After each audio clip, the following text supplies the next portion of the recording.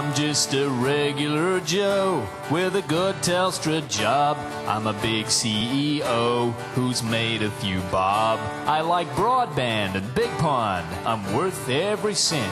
I run an Aussie telco with a US accent.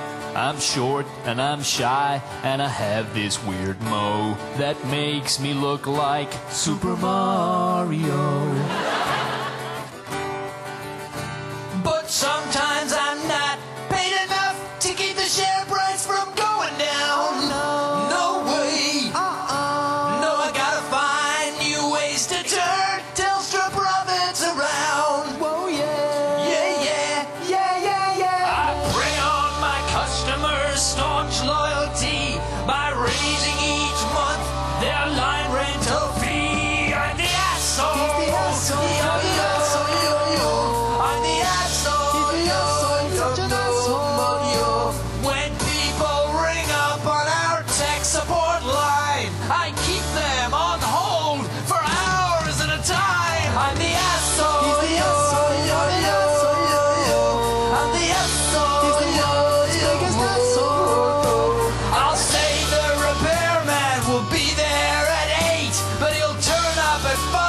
Only nine hours late. I'm the asshole. He's the asshole. Yo, yo, yo, yo.